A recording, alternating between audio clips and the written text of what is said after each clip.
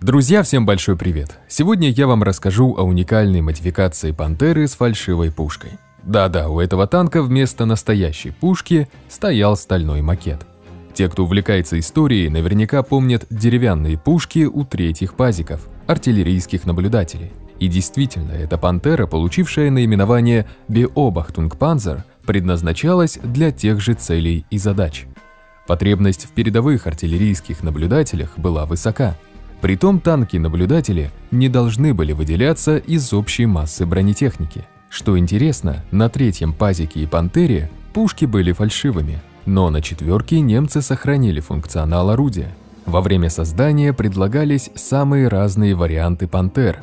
На ней планировали сохранить стандартное вооружение, но в конечном счете Rheinmetall выбрали вариант без пушки, поставив вместо него стальной макет, крепившийся к башне болтами.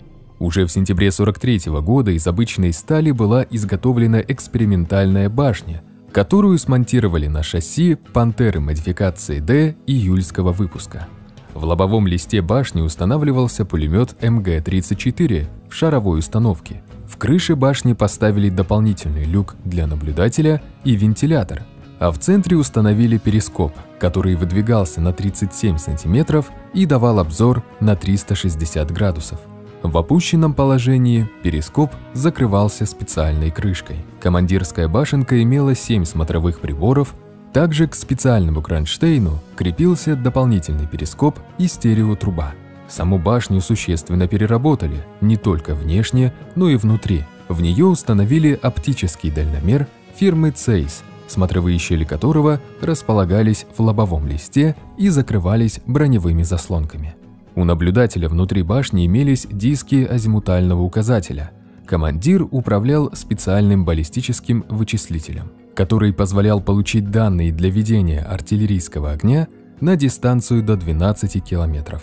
Ну и разумеется, в «Пантеру» планировалось поставить несколько мощных радиостанций, в том числе для прямой связи с артиллерийскими частями. Экипаж состоял из командира, мехвода, радиста и наблюдателя – Притом для командира и наблюдателя предусматривались специальные площадки для более эффективного наблюдения. В разных источниках указываются разные цифры о количестве изготовленных «Пантер» наблюдателей. Но на самом деле немцы сделали только один образец. Дело в том, что в отличие от устаревших троек, коих было великое множество, производство «Пантер» серьезно отставало от намеченных планов, и отвлекать производство на создание «Пантер» в Верховном командовании посчитали расточительством. В итоге все работы по «Пантере» были прекращены.